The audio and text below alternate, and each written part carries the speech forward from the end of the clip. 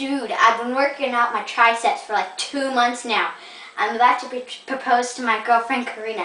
She's like amazing. I met her in Rome. She's like an actual princess, dude, for real. She's like amazing. Hi, honey. Dude, get out of here. Get out. Get Hi, what are you up to? Oh, nothing. Oh. well, that's yeah. I was just in. Nothing. Okay, I've been meaning to do this for like ever. Um, do what? Oh my gosh. Carina, you're a princess in my life.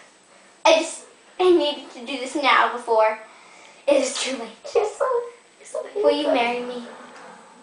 That piece of junk? Psh, forget you. I can go get myself a prince and rough. Ah!